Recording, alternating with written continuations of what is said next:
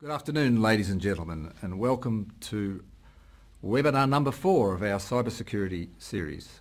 My name is John Keegan. I'm a business advisor with the Department of Industry, Innovation and Sciences Entrepreneurs Program, which is bringing this cybersecurity series to you. The Entrepreneurs Program is a, uh, a, a federal government program that assists small to medium enterprises in growing their business. I'm part of a cohort of some 100 business advisors and facilitators across the country who deliver no cost business evaluations of, of your businesses and set you up for a grant.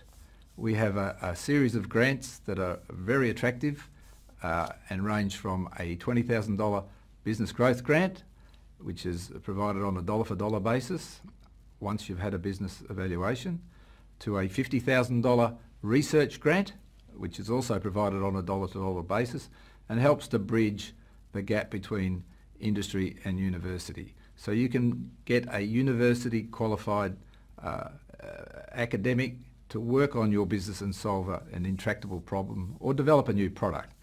And finally, we have the Accelerating Commercialisation Program, which is highly competitive, but it, it, it offers assistance for a new idea, a new idea that could go global, a new idea that's got serious growth and uh, competitive advantages and uh, the grants there range right up to a million dollars on a dollar for dollar basis.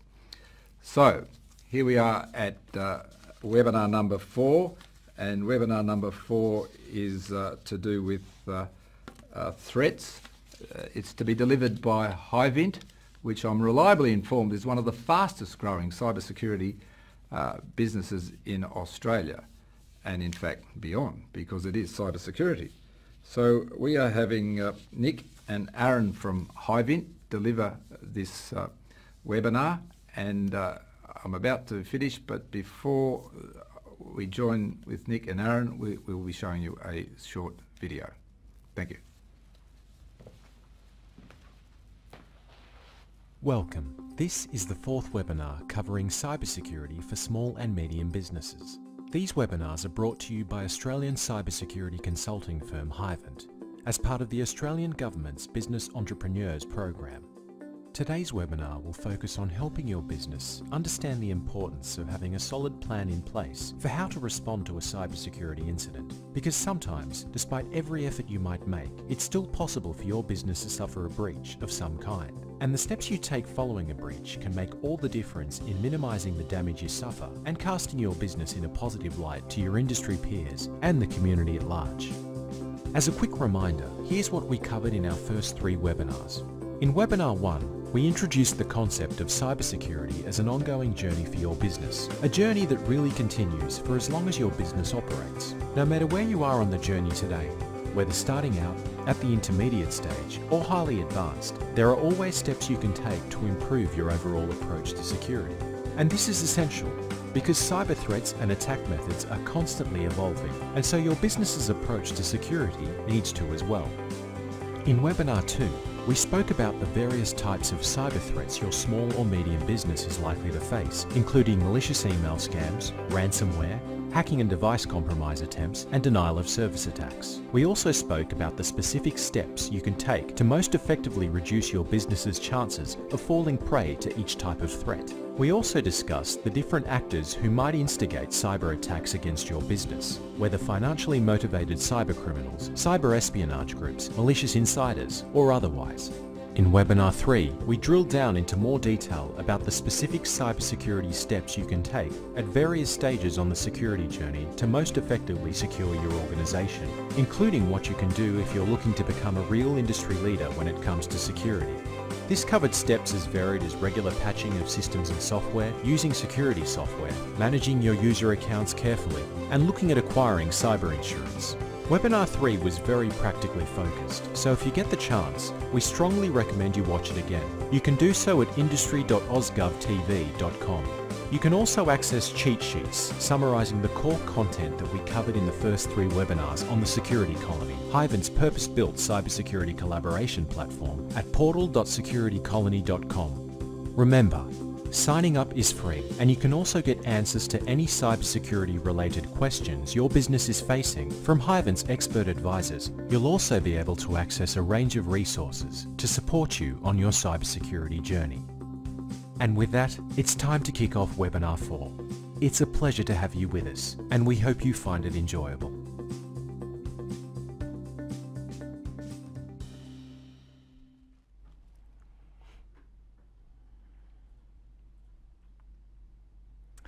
Thanks, John, for that introduction, and thanks everyone for joining us. Um, as was mentioned, this is the fourth uh, of the webinars in the cybersecurity series. Uh, for those who've joined us for the earlier webinars, um, the first was really a, an overall view of, of cybersecurity and how it affects small to medium enterprises. Uh, the second specifically looked at some of the threats that small to medium enterprises face. Uh, and the third and most recent uh, looked at some of the operational basics around cybersecurity and some of the things that organisations need to concentrate on. In this webinar today, we're going to be looking at developing an incident response capability. And there are a couple of aspects to this. Partly it's preparing prior to an incident um, to make sure that you're ready when an incident occurs. And of course, we'll also talk about when an actual incident happens, some of the things that you need to keep in mind and how that response should play out. Now, if you did miss any of the earlier webinars, um, or if you do want to go back and check what, what was covered, um, you can view them all at industry.ausgovtv.com. Uh, and of course, I know we always talk every week uh, about the Security Colony platform. Um, so please, you are welcome to register at portal.securitycolony.com. Um, you can set up a free account, and on that site we'll have the slides available, uh, a cheat sheet that captures the key material for the webinar, um, and also there's some additional material that will help you put in place an incident response plan. Um, so please do sign up. It's free. Um, you're welcome to ask us questions. And of course, through this webinar today as well, uh, I think in the bottom left-hand side of your screen, you'll be able to enter questions in, uh, and then we'll answer those at the end of the session.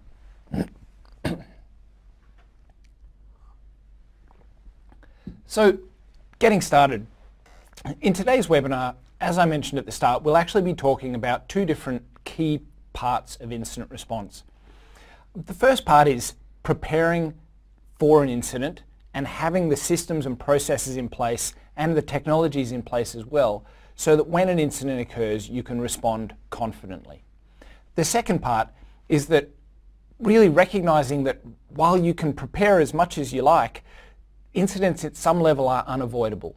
Um, it really is necessary for almost every organisation to assume that at some point in the organisation's life cycle, there will be a security incident. And it's for that reason that while it's important to prepare, while it's important to put mechanisms in place to try and stop incidents from occurring, it's also really important to try and detect them as effectively as possible and respond as efficiently as possible as well. Now, when we're talking about the likelihood of an incident, one of the things we spoke about in the first webinar was, was why a small to medium enterprise might be targeted. And it's important to touch on this because we'll talk as we go through this process about how this flows through to determining whether or not an incident has occurred. And one of the key things is really understanding what information you have that is sensitive and who may actually be trying to compromise the organisation. Now in terms of why a small to medium enterprise might be targeted, one of the main reasons is that from an attacker's perspective, it's often seen that SMEs are likely to be an easier target. Um, the reality is that the security budget a small to medium enterprise can apply is significantly lower than that of a larger organisation. Secondly, the data that's held by small to medium enterprises is often just as sensitive as that held by larger companies. Um, now there may be less of it. You may have 1,000 customer records rather than 10,000 or 100,000 but the sensitivity is likely just the same. And the third part is that for many small to medium businesses, they can actually be seen as a key attack path to getting to larger businesses. And some of the major breaches that we've seen around the world have had exactly this dynamic. Um, you may have read stories in the paper about Netflix being uh, blackmailed by a hacker who had stolen Orange is the New Black, the latest series. Um, that largely was attributed to the compromise of a production company further down the chain. Similarly, you may have read about a breach of Target that happened a number of years ago where they lost a significant number in terms of hundreds of millions of credit card numbers. Uh, and again, that was a breach of a heating and ventilation maintenance company that itself was a, a medium-sized business. And so small to medium businesses can be a path for attacking larger organisations. So ultimately having a good process is important for a couple of reasons. One is if we accept that an incident is likely to occur at some point, having the process in place will allow you to minimise the loss. It will allow you to minimise the impact um, and to prevent the impact from getting out of control. And the other part, which is really worth keeping in mind, is having an effective incident response process can actually make your organisation look better in the eyes of customers. Um, now obviously we're not suggesting that having an incident is a good thing, but if you look at the experience of organisations who've had things like a product recall event or a product safety event or something like that, and have responded effectively and genuinely demonstrated compassion, empathy for customers, and have really responded well, often they can come out of that process with a stronger brand and a stronger amount of trust from their customers than they had beforehand. So having an effective incident response process really can be important from the positioning of the business's perspective. And, and just carrying on from that point that Nick's mentioned, uh, there's also an increased amount of regulatory scrutiny that's really being applied, and this is really a trend we're seeing across the globe. When it comes to the cybersecurity practices of businesses of all sizes, but also specifically the incident response processes businesses have in place when it comes to actually dealing with a security breach.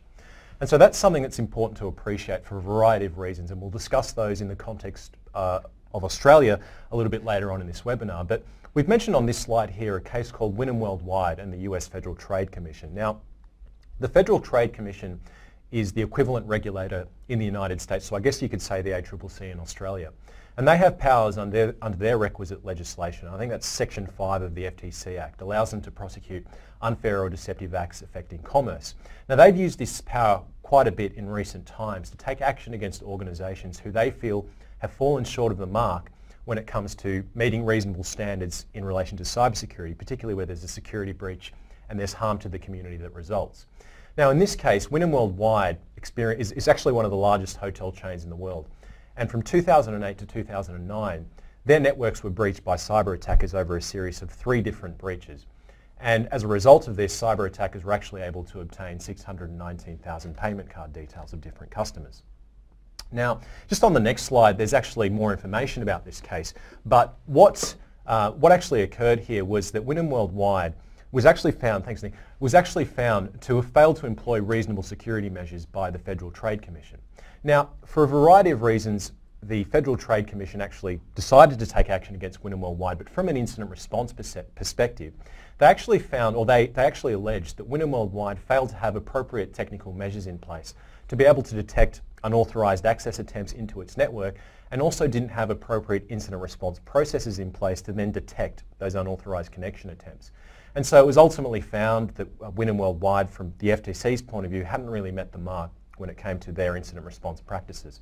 And they had a regulatory order imposed upon them to implement a comprehensive cybersecurity program, uh, which will be subject to regulatory oversight over the next several years. So it's just an interesting case to, to preface this discussion in terms of highlighting the importance of, of, uh, of, incident response processes and implementing an effective incident response process from a regulatory standpoint as well. And we'll keep talking about that later on in this webinar. But it is also likely to be particularly relevant in an Australian context with the introduction of the mandatory data breach notification laws, which no doubt many, many of the businesses watching this webinar will be interested in. And we will discuss those in a little bit more detail later on in the webinar. Um, at a high level, uh, the mandatory data breach notification laws in the Privacy Act, uh, they'll commence operation in uh, early 2018. Uh, they'll apply to businesses with a, uh, with a turnover of revenue greater than $3 million annually. And they'll also, sorry, and that's also the case for the Australian privacy principles. And I've mentioned that here on this slide because it's also important to note that even in the current setup with the, the privacy regime, um, in, the, in the Privacy Act, the Australian privacy principles include aspects which can affect your cybersecurity practices and, and the way you uh, implement your cybersecurity practices and your incident response processes. Australian Privacy Principle 11 in particular is relevant. It requires organisations who hold personal information to take reasonable steps to secure that information from misuse, interference or loss or unauthorised access, modification or disclosure. So just going and, and, and carrying on from the point Nick mentioned earlier on, the steps you take in the immediate aftermath of a security breach can, if you, if you implement an effective incident response process can greatly limit um, the potential uh, jeopardy that personal information you hold is placed in. So very important to be cognizant of that uh, and the importance of incident response in terms of placing you on the right side of, of the increasing amounts of regulatory requirements that are being imposed upon businesses. In terms of what an actual security incident is, well, we've already talked about the different types of cybersecurity threats that exist, and we specifically focused on that in webinar two. And really, the types of, uh, of, of, incidents you can experience are just as broad. Now, you recall, uh, for example, that can include things like infection from malicious software, such as ransomware, that encrypts your key business data, or malware. It can also include hacking and device compromise, uh, whether that's from an external cyber attacker or even a malicious insider. Both of those can constitute a potential security incident. And finally, denial of service attacks. We've also spoken about those in previous webinars.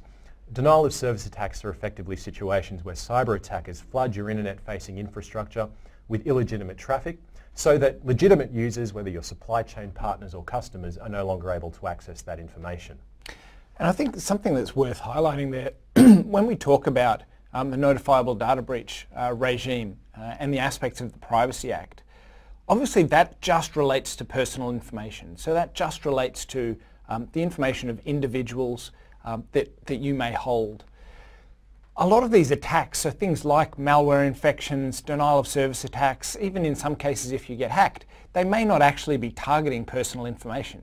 They may be targeting confidential information, they may be targeting design specs, they may be targeting IP. A denial of service attack may simply be trying to cause an impact to the organisation by knocking it offline. So the, the Privacy Act issue and the data breach issue is something that we'll talk about quite a bit because it's very topical, but it's also important when putting in place the incident response plan that it's not just around data breaches, that it does actually handle um, security incidents that don't have personal data involved. Yeah, and I think that's a good point. Oftentimes the terminology in this space tends to get a little bit conflated. Mm. So we're really looking at the broader concept of a security breach, and as part of that we'll also look as, at data breaches involving personal information, which is really a subset of that broader um, umbrella term of, of security breaches. Now, as Nick's already mentioned, it's important to be uh, aware of the fact that really Implementing a good incident response capability involves two aspects. It's not just about the steps you take when you respond to a security incident. Obviously, that's a significant part of it. But much of the work to implement an effective incident response process can actually happen before a security incident occurs.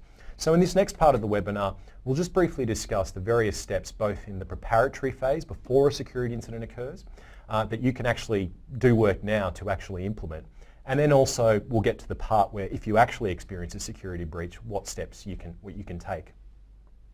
Now in terms of the preparatory steps, there are a few. Firstly, identifying your external support contacts. It's very, very difficult uh, nowadays with the complexity of modern security, uh, sorry, modern cybersecurity breaches um, and the regulatory requirements involved and so forth. Typically, it's going to be very difficult for an organisation to be able to handle a security breach in isolation from external support. So we'll discuss that in a moment.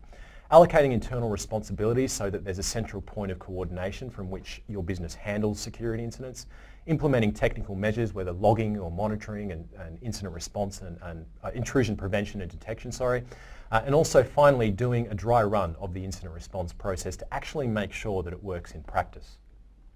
And in practice, what, where all of that comes together is ultimately that, that's the content of the plan. So when you're developing an incident response plan, those are the things that it ultimately needs to contain. It needs to contain you know, what the roles and responsibilities are, um, who's going to be contacted, uh, who potentially may need to be involved, um, which we'll talk about on this slide, um, some of the technical controls that may be in place, and effectively the plan captures all that material. Realistically, it's unlikely that someone's actually going to grab the document in the middle of an incident, mm. but having it there um, is that safety blanket of actually knowing that it's been thought through and planned. Yeah, and I think that's that's the key point. Having actually thought, done the thinking, and gone through that exercise initially is really, the, I guess, the key takeout from from I guess this part of the webinar. Um, so the first step, as I mentioned, is really uh, identifying your external support contacts, and that's really even as simple as developing a list of who you're going to contact when you experience a security incident. Now, who you might contact, depending on the nature of the incident, is likely to vary. So for example, if you experience a security incident where there's an element of fraud, for example, financial fraud, and there's a criminal aspect, um, such as from a phishing scam or a business email compromise scam, then obviously engaging law enforcement is going to be particularly relevant. It might not be as relevant in certain other types of scenarios, but if you do need to engage law enforcement, it's worth doing that early on in the process. Now, we've suggested there on, on the slide that it's worth getting in touch, particularly with the Australian Cybercrime Online Reporting Network, known as ACORN for short. And you can see the URL on the slide. Now, ACORN is a central point that the government set up uh, which facilitates if you report the details of a potential crime there, they can then forward the details of that to the relevant law enforcement authority for further investigation. Also very, very important, many of the businesses watching this may not necessarily have had much previous experience dealing with a security incident.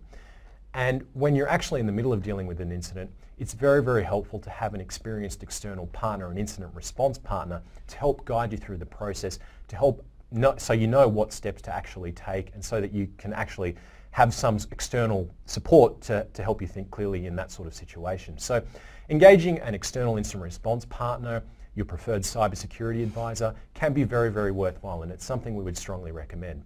We've also mentioned the option of speaking with ID Care. Now ID Care is a national not-for-profit service. They operate both across Australia and New Zealand and they've been principally set up to actually assist uh, individuals who have experienced identity theft and loss of personal information from cyber attacks.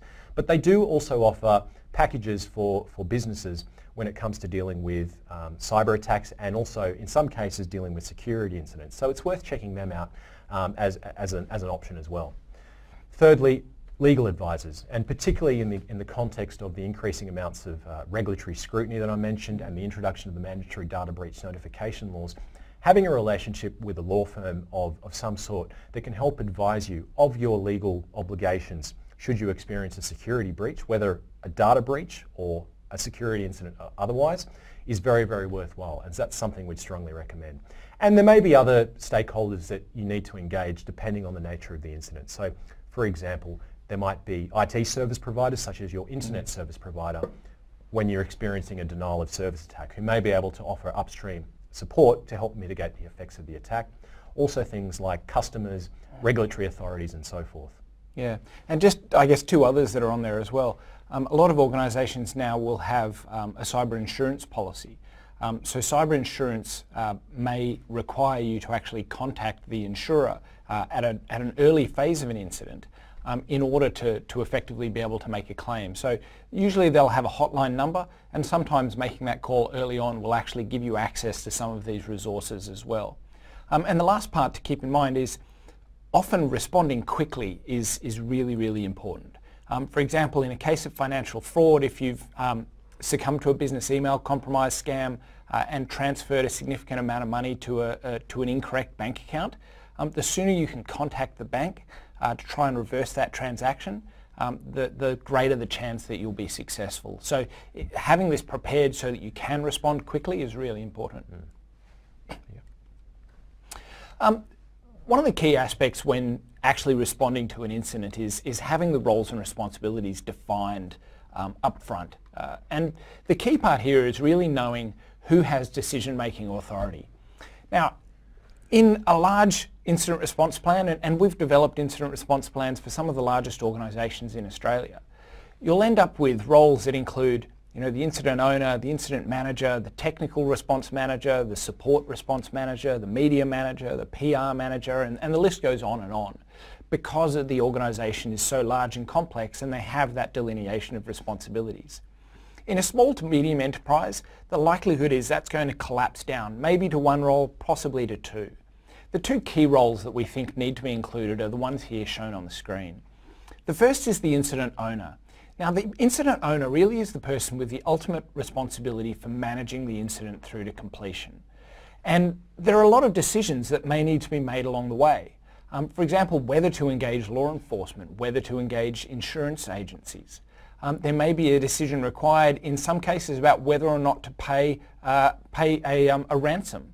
Um, now we're certainly not, we're not recommending that you do, but the point is that that decision ultimately needs to be made by someone in the organisation. And the other example that exists there as well around uh, the mandatory data breach disclosure that we've been discussing already is that there is a certain threshold at which a data breach becomes notifiable. Um, and we'll talk about that threshold later on, but at some point someone in the organisation has to make that determination. So there is actually a key role if a data breach occurs for someone to make a decision to say whether or not this decision, whether or not this, uh, this breach actually needs to be notified, both to the Office of the Australian Information Commissioner and to the people whose data has been lost. And so being ready for that being prepared for that is really important. And the other role is, is the concept of an incident manager. So the incident manager is ultimately the person who is responding to the incident in practice. Um, now for a highly technical organisation, that, mean that may mean actually getting hands-on, um, looking at log files, getting information and doing some of the investigation. More often than not though for small to medium enterprises, that's going to be the person that is actually involved in engaging with third parties, getting the right people involved, um, getting access to suppliers and third parties, particularly if a data breach involves one of your cloud services or another external system as well. And so those are the two key roles that it's really worth keeping in mind and, and establishing, if you can, um, ahead of a data breach occurring. Now, one of the key things that really needs to be thought about prior to an incident occurring is how you will make sure that you actually have the information you need to be able to investigate that incident. Um, and one of the things that we find, so we, we have an incident response capability and we have a forensics capability. And often we'll get called into an organisation to do an incident response project. And the first thing that we'll do is we'll start asking for log files, we'll start asking for audit trails and other information so that we can start trying to piece together what's happened. If that information is not available, it makes the response so much harder.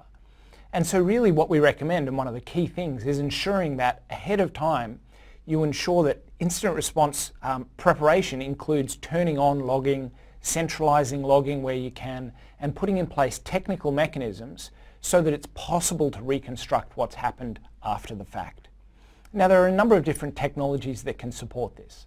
Um, one is an intrusion detection and prevention system um, and that can either be network based, a lot of common firewalls now will have some degree of intrusion detection capability. Um, it can also be host based. Um, some of the modern security software, it's called EDR software, endpoint detection and response, also has a similar ability to capture information and allow for activities to be reconstructed after the fact. The other thing that's important is really ensuring that logging is turned on wherever it can be. Um, so a lot of cloud systems, for example Office 365 and other cloud-based email platforms and, and um, application platforms, um, allow you to go into a security console and turn on logging. Um, simply doing that will ensure that that information about which user accessed which file or which user logged on at a particular point in time is available in the event that an incident occurs so that you can go through and do the investigation. So ensuring that those logs are established, um, having an understanding of where they're stored and what's logged is really, really important. Um, if you can end up with a, a single page that captures each of the key systems you have, what's logged from that and where those log files are stored, that can provide a really, really effective tool that you could provide to someone in the event of an incident to actually help with that incident response process. And lastly, one of the more advanced sort of levels you could look at is called a security incident and event monitoring system. So a SIEM is effectively the next step up from intrusion detection and logging and actually adds a layer of uh, analysis and intelligence over the top of that information being collected. The reality is that logging can have a couple of different purposes.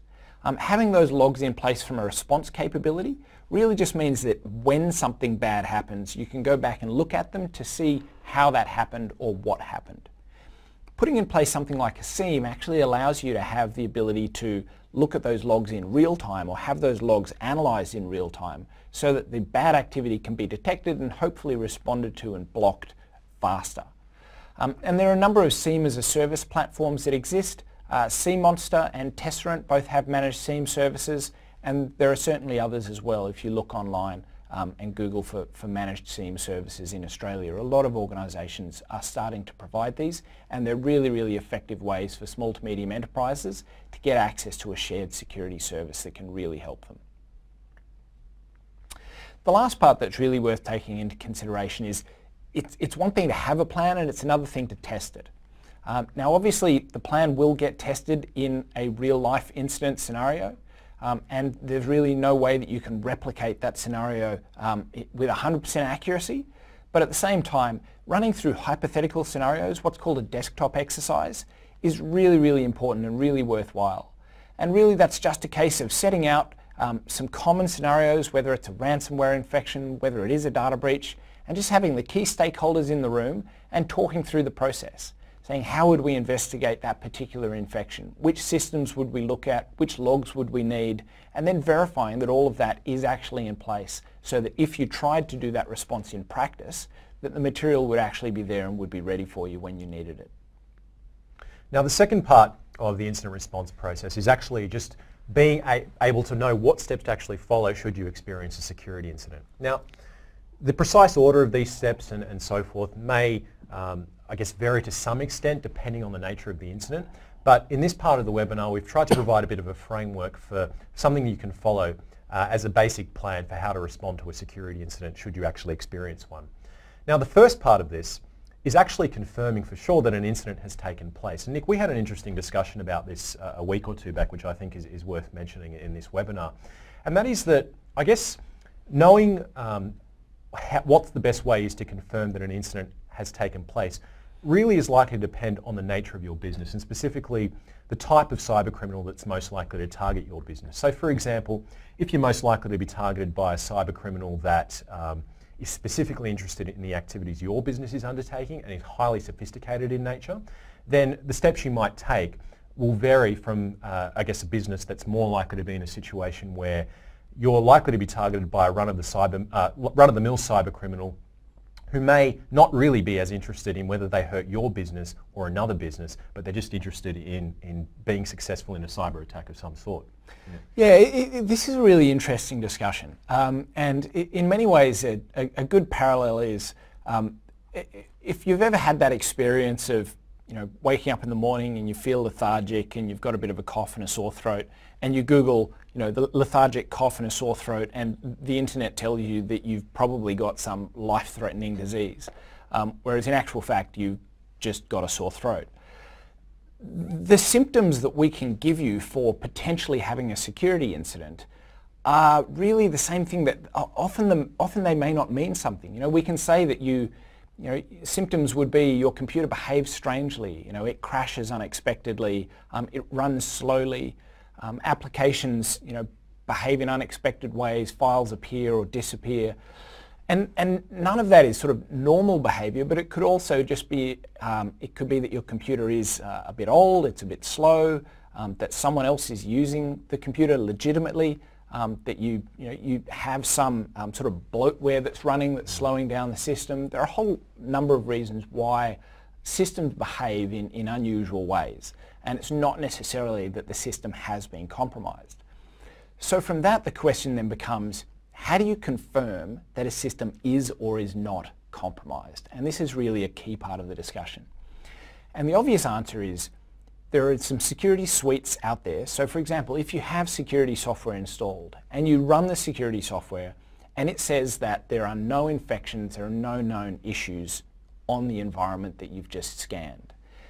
You have to make a decision about whether or not you trust that and that seems like a reliable response um, or you don't trust that because you think that the attack may be more sophisticated than the security software that you have in place.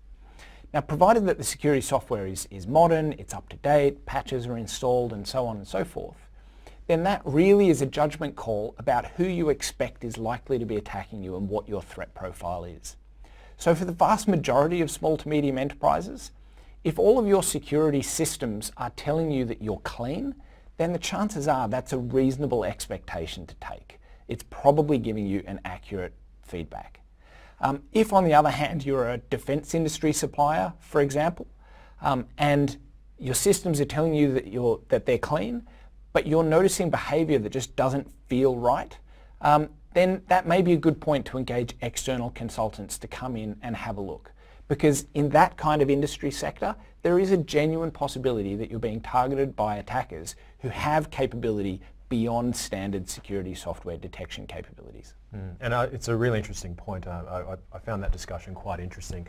It's not simply just a case of looking at suspicious system behaviours in a vacuum. You really need to consider that in the context of the, I guess, the, the profile, the threat profile that your, your organisation is operating in. So that's mm. really the key takeaway point from, from that slide. Now, the second, uh, the second aspect to an actual incident response process is actually understanding what the scope of a potential incident is and what that really means is really understanding the extent to which your IT environment has been compromised. Is there one system that's been compromised? Are there several systems and devices that have been compromised? What parts of your, your network have been compromised? And that's a really critical prere prerequisite so that you can then implement containment measures and you know what actually needs to be contained and isolated from the rest of your IT environment to prevent the breach getting worse. Now, this is why uh, Nick spoke earlier on about the, the importance of enabling logging functionality. This is where the use of those logs becomes particularly critical because logs provide, I guess, a point in time uh, status update for the way your IT environment or the, or the way your IT environment was operating up until the point a security breach occurred. So they really are helpful as part of the investigations process to understand what's been compromised, um, whether potentially sensitive data, uh, personal information that you hold might have been compromised, and also can help you to ascertain whether key systems might have had their functionality damaged or compromised in some way so that you can then have an idea of whether those systems need to be taken offline, whether they need to be rebuilt or have backups restored and so forth. Now thirdly, and I won't, I won't spend long on this because it's really just carrying on from the point we mentioned in, in the first part of this uh, discussion around incident response, but it's really now the time to also look at engaging your external support contacts. Now as I mentioned, the external support contacts you engage with will really vary depending on the nature of the incident. But at the very least, make sure to engage with your incident response partner, uh, so whether that's your preferred cybersecurity firm or ID Care or someone else, just make sure that you, you do that early on in the piece if at all possible. And also, as Nick also mentioned, uh, engaging with your cyber insurance, uh, if, you, if you do have a cyber insurance policy, engaging with your insurer early on is also important because they'll want to be aware of the details of a potential claim. And also, obviously, your legal advisors, should there you know, be potential uh, uh, regulatory obligations that might apply, for example, with the mandatory data breach notification laws. And there are also others that may apply depending on the nature of the incident, such as law enforcement, uh, customers and supply chain partners, regulatory bodies, and so forth. So in terms of confirming that an incident's hap happened and, and beginning the remediation process, this is largely that, that discussion that we had just before about you know, how do you tell that an incident's occurred? Um, now, in some cases, it can be pretty straightforward.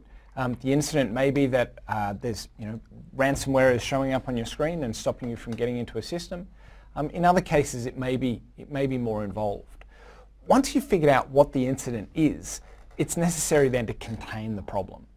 And containing the problem can be as simple as um, isolating the affected system for example, if you have had a system that's been infected by ransomware, the recommendation, generally speaking, is going to be to pull the network cable or to, or to disconnect the network stack. Um, now, there have been some edge cases where ransomware has been reported as being set up so that if the network connectivity is lost, it'll cause some problem. But the reality is that most of the time, that's going to be the best recommendation that can be made. But again, containing the problem really depends on the type of incident. If the incident's a denial of service attack, then the chances are you're going to need to get in touch with your internet service provider or telecommunications provider to try and get some upstream help um, to block that traffic. But the key really is diagnosing the problem so that you understand it, so that you can actually contain that breach, so that you contain that loss.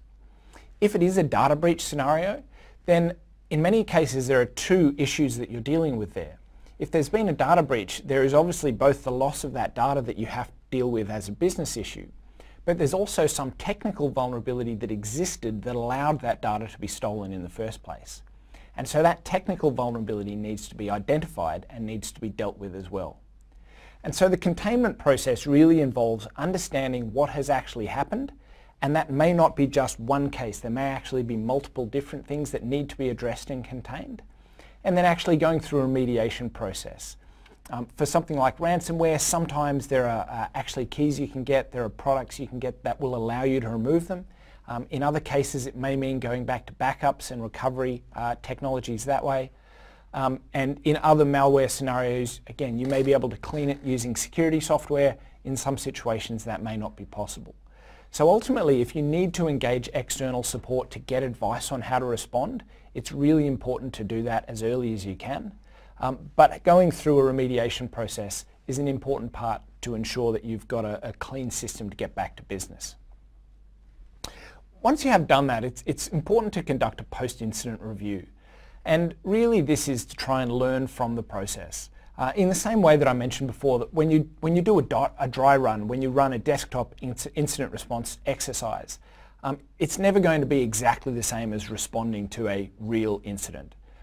And so when you do have a real incident, as unfortunate as that is, it's important that you do learn from that. If you identify that there were logs that would have been good to have that you didn't have, make sure that those are then put in place so that you do have them next time. If you identify that one of your suppliers um, is a weak point in your supply chain, the reality is you may need to actually look at either working with them to improve their security or potentially swapping providers, potentially swapping hosting providers, swapping technology platforms or something similar.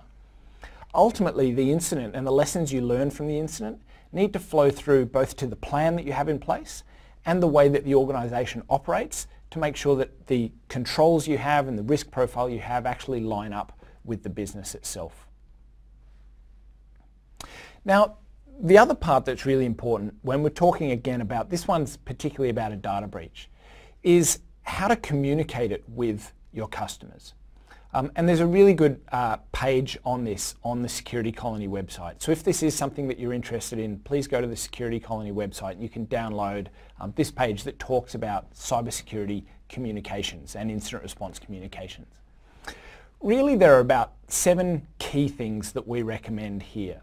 Um, and this all relates to how you message to customers, how you communicate to customers, um, how open you are, how honest you are, and ultimately this is going to impact on how, how the, the breach is perceived um, in the outside world. The first thing that we recommend is that you make sure you communicate accurately.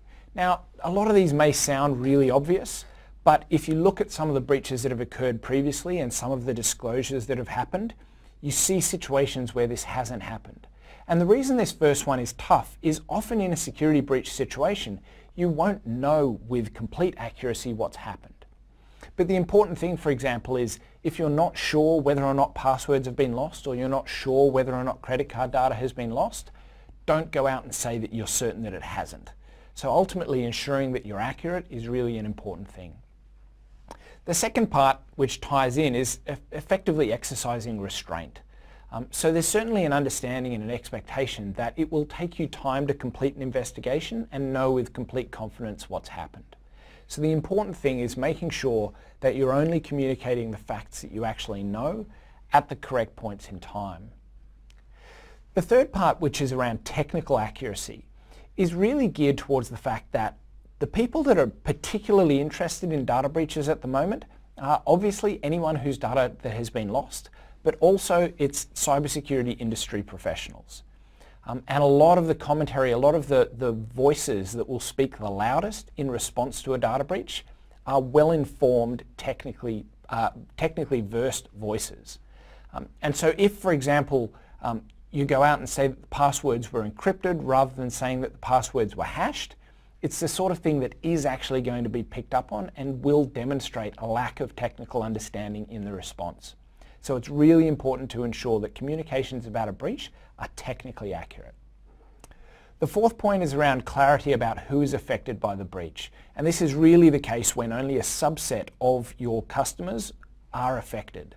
Um, if you have 100,000 customers and you've lost 2,000 customer records, all 100,000 will assume that they are in that list until you tell them that they're not.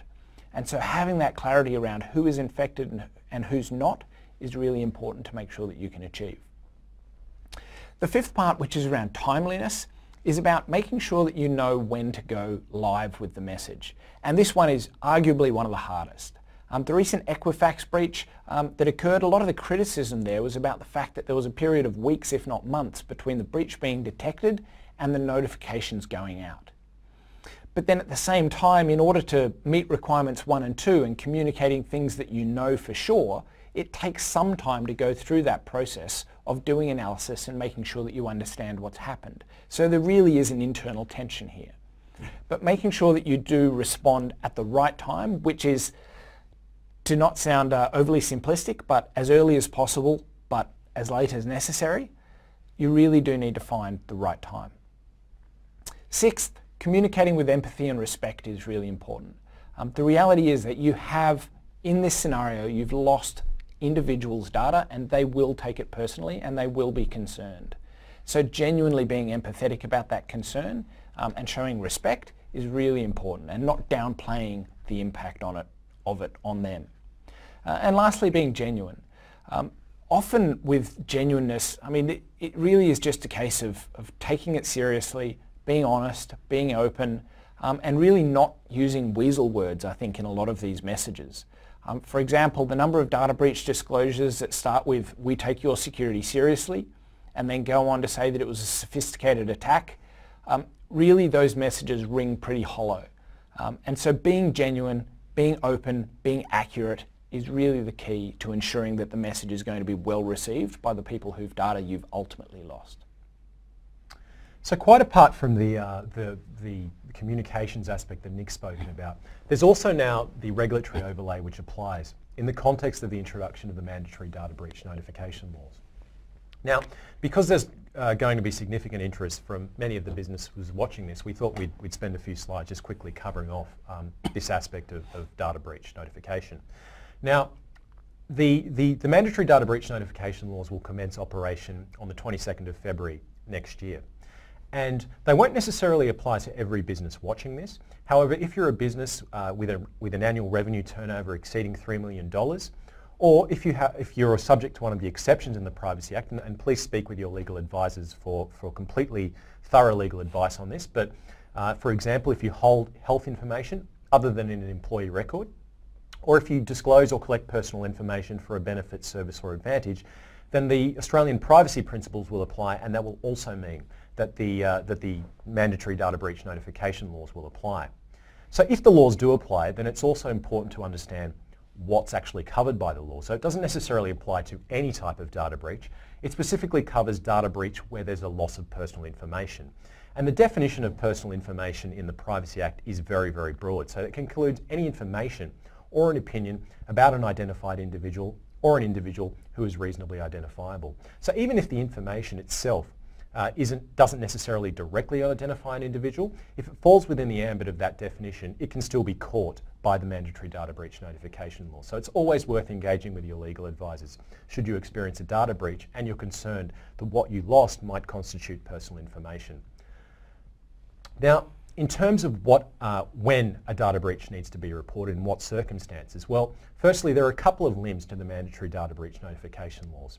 So if you experience uh, unauthorised access to, modification of, or disclosure of personal information that's held by your business, then you could potentially need to, uh, need to report that data breach. In addition, if there's a loss of personal information and it's likely that there'll be that circumstances will arise that, that will mean there's unauthorized access to or disclosure of that personal information, then you might need to report the data breach. However, there's a key threshold that first needs to be met. And that is, and you can see that on that slide there, but the unauthorized modification access to or disclosure of the personal information needs to be likely to result in serious harm to affected individuals. Now, whether that harm is financial in nature, nature emotional, psychological, or otherwise, there needs to be that key threshold that's met before you report, uh, before you need to report the data breach. And I'll speak about that a little bit more in a moment. If you do uh, need to report a data breach, then it needs to be reported both to the Office of the Australian Information Commissioner and to affected individuals as soon as practicable after you become aware of the circumstances of what's known as an eligible data breach. And we've taken that information from the Office of the Australian Information Commissioner in terms of what actually needs to be included in the notification. So it includes business name and contact details, um, description of the breach, and also information about recommended steps that affected individuals should take in response to the breach. You know, for example, whether that's resetting passwords, resetting key accounts, uh, you know, getting in touch with their financial provider and so forth. And that's probably worth just saying that the, the, Office of the Australian Information Commissioner, they actually have some great resources mm. available on their, on their website to support this process. Mm. They've got a whole range of sort of draft guidelines about how to do these assessments, um, some plain English versions of the, of, of the Privacy Act, um, and also particularly around this notifiable data breach uh, legislation. So if it is an area that you, you think may affect you, um, you fit into one of the definitions and you do hold personal information, it's really worth checking that out and, and, and taking that into consideration. Yeah, and we, we also do have um, quite a few resources on the security colony as well around uh, data breach notification in relation to the, to the laws and also actually um, in relation to ways you can communicate about a data breach, going back to, to what Nick mentioned earlier on or discussed earlier on. Now, the final point that I think is really important to mention, and it ties it back to the incident response discussion we've been having, is this key threshold that you only really need to report a potentially eligible data breach if it's likely to result in serious harm to affected individuals, in other words, individuals to whom the information relates. And that's a really key threshold to appreciate in the context of incident response.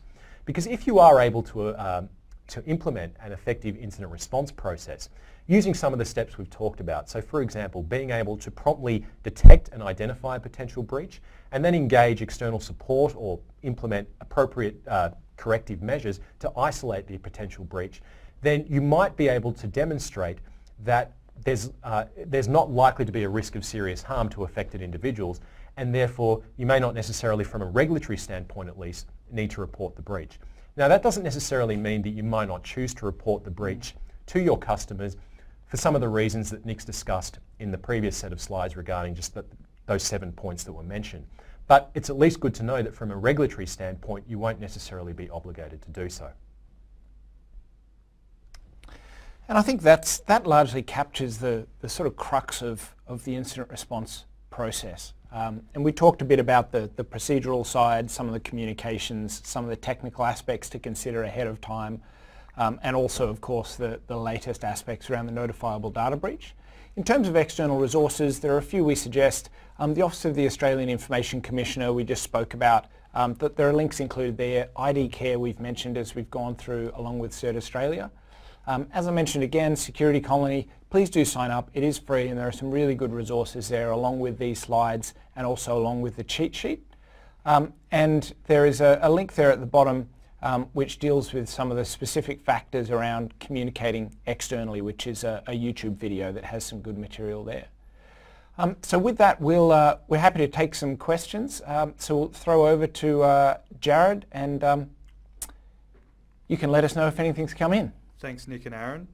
Uh, we have a few questions that have come through. The first one, which you probably really have, have covered off in a lot of detail, but maybe just a simple answer, it comes from Philip.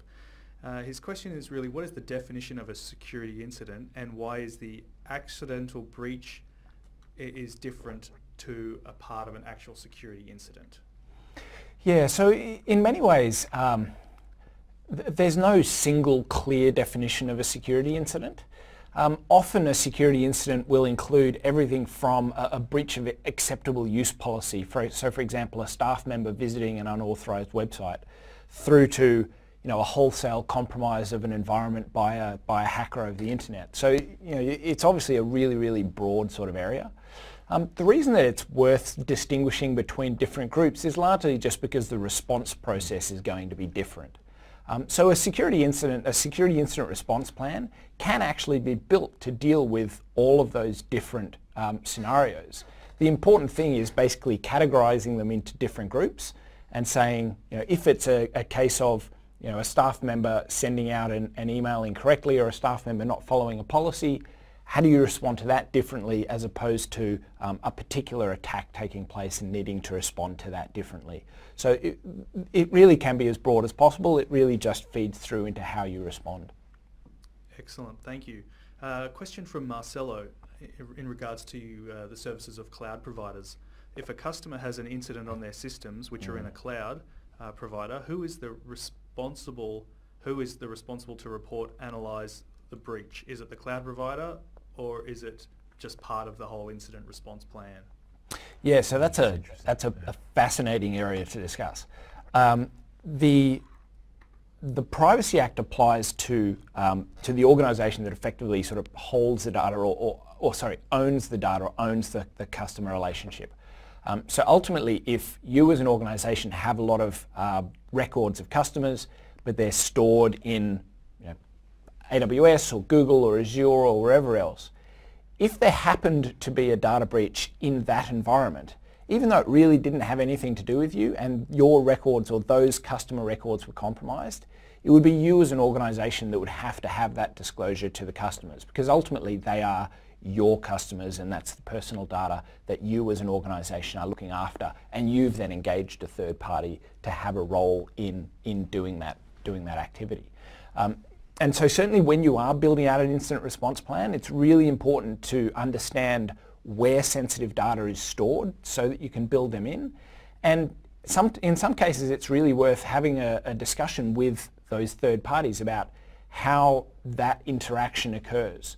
Um, so you know, will they necessarily tell you if there is a security incident that occurs that might affect your data? And ensuring that that's actually built into contracts and agreements can also be an important step.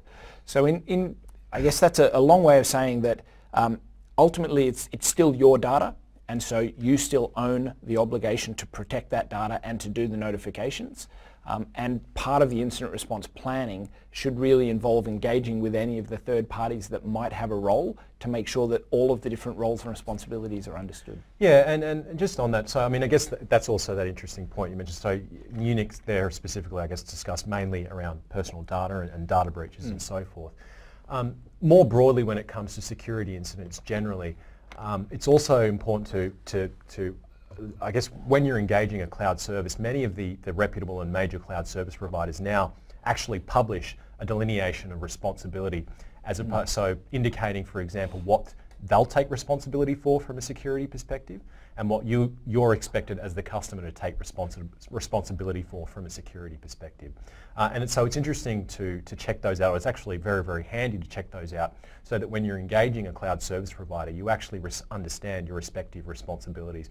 I think that can help you a lot mm. during the incident response process as well. Fantastic, thank you. And the last question also from Marcelo in regards to data breaches. Uh, it's more a bit of a statement at the same time a question.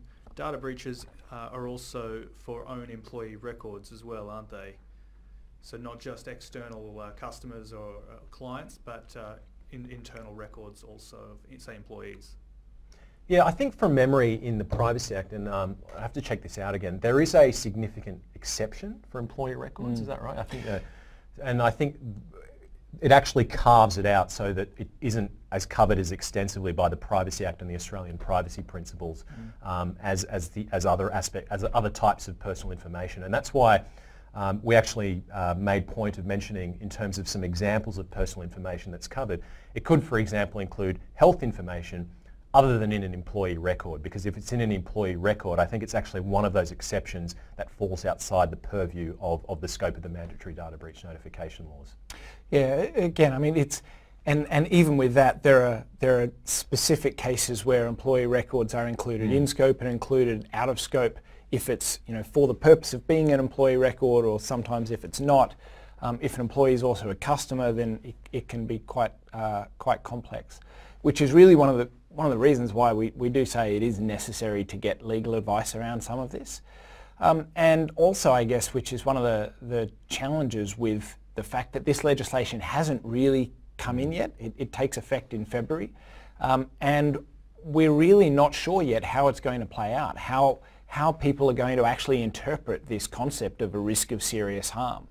Um, so it may be that you know the 22nd of February rolls around and there's radio silence and we don't actually hear many data breaches getting reported. Um, or it may be that the airwaves are, are flooded with, with notifications of, of people who think that um, you know, an email address is potentially could cause serious harm.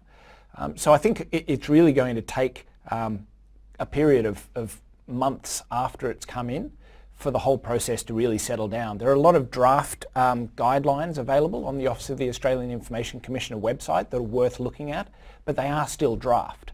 And so a lot of this is really going to be thrashed out over the next few months.